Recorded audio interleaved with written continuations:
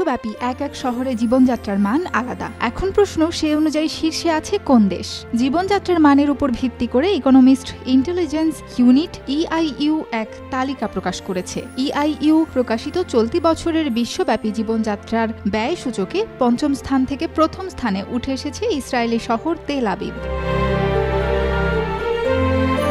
একই তালিকায় সম্মিলিতভাবে দ্বিতীয় স্থানে রয়েছে প্যারিস এবং সিঙ্গাপুর। তবে এবছরও বিশ্বের সবচেয়ে সস্তা শহর হিসেবে স্থান পেয়েছে সিরিয়ার শহর দামেস্কো।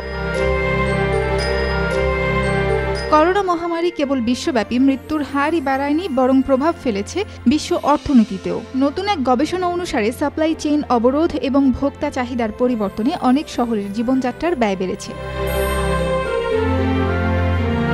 সূচকে তেল আবিবের অবস্থানের পেছনে দায়ী নিত্য প্রয়োজনীয় দ্রব্য এবং পরিবহন খরচের ঊর্ধ্বগতি। দু হাজার একুশ world wide cost of living ইন্ডেক্সে বিশ্বের একশো তিয়াত্তরটি শহরের দুশোটিরও বেশি দৈনন্দিন পণ্য ও পরিষেবার দামের তুলনা করা হয়।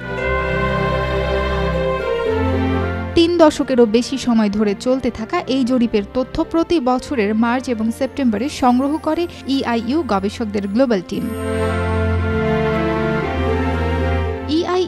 প্রতিবেদন অনুযায়ী সূচকের আওতায় থাকা পণ্য ও পরিষেবার দাম স্থানীয় মুদ্রার পরিপ্রেক্ষিতে বছরে তিন দশমিক পাঁচ শতাংশ বৃদ্ধি পেয়েছে, যা গত বছরের এই সময়ে বৃদ্ধি পেয়েছিল মাত্র এক দশমিক নয় শতাংশ।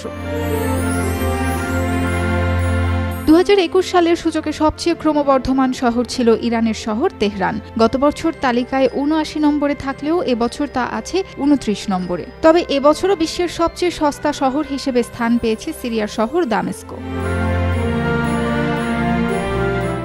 ইআইইউতে বিশ্বব্যাপী জীবনযাত্রার ব্যয়ের প্রধান উপাসনা দত্ত একটি বিবৃতিতে বলেন, যদিও বিশ্বের বেশিরভাগ অর্থনীতি ভ্যাকসিনের বিস্তারের মাধ্যমে ঘুরে দাঁড়াচ্ছে, এখনও অনেক শহরেই করোনার সংক্রমণ বেড়েই চলেছে। এসব শহরে লকডাউন জারি থাকায় পণ্যের সরবরাহ ব্যাহত হয়। এই ঘাটতির ফলে পণ্যের দামও বেড়েছে।